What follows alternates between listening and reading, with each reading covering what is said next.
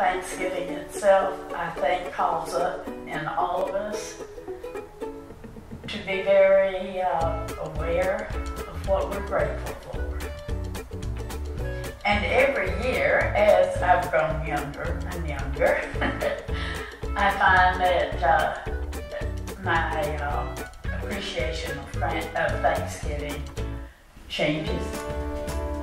And uh, this year, especially, I am so grateful that we live in a country where we can celebrate Thanksgiving as we look out across the world and see all the tumult that's going forth in the world.